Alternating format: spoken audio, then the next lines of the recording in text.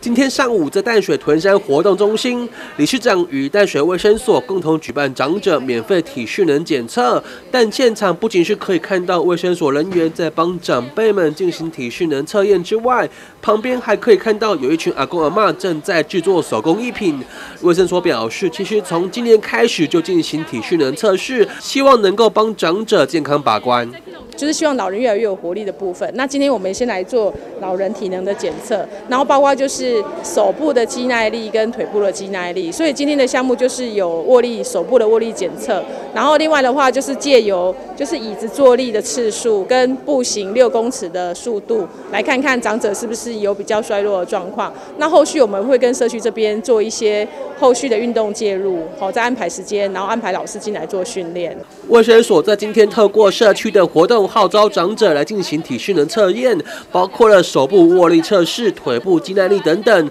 了解长者的身体状况，并且提供适当的咨询服务，希望让年过半百的阿公阿妈们都可以过得更健康。我有有啦，我的，啊，伊讲普通一百一百八六嘛，啊，伊讲一一百九十五。